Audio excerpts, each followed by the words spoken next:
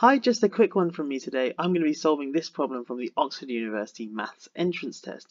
We want to know which of the following graphs is a sketch of y equals e to the minus x over 2 minus e to the minus x, for x positive. And we've got five options here. So the first thing I like to do is think about the intercepts of this graph. And now I know it says that x has to be positive, but we can just make x tend towards 0 and work out what the y-axis or the y-intercept should be. Um, so when we sub in x as 0, we get y is e to the 0 minus e to the 0, which is 1 minus 1, which is 0. So the graph has to pass through the y-axis at 0, so that eliminates this option, and it eliminates this option. So we're left with three possibilities here. Next, what we want to do is perhaps consider the limit as x goes to infinity of this graph. So what's the limit as x goes to infinity of e to the minus x over 2 minus e to the minus x?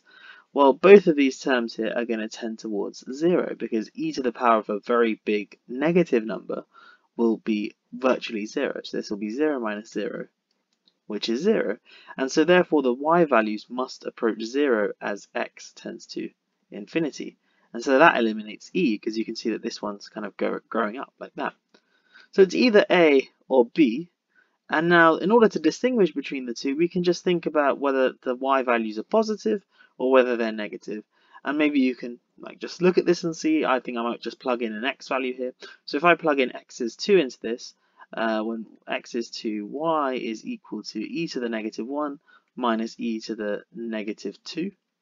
And that's the same as 1 over e minus 1 over e squared. And obviously, since e is bigger than 1, e squared is going to be bigger than e. And so if I do 1 over e squared, that's going to be smaller than 1 over e. So this is indeed positive, so it's not b and the answer is therefore A. And that would be our solution here. So this is a nice little thing to do with math multiple choice questions. You do not need to derive the answer. They're not asking you to sketch this graph. They're telling you that one of these five is correct and it's your job to identify which. So I think that with lots of these questions, process of elimination can be your best friend, especially under the time pressure of the exam. Anyway, if you have found this video useful, please do give it a like and subscribe if you haven't already. Thanks so much for watching. I'll catch you in the next one. Have a great day.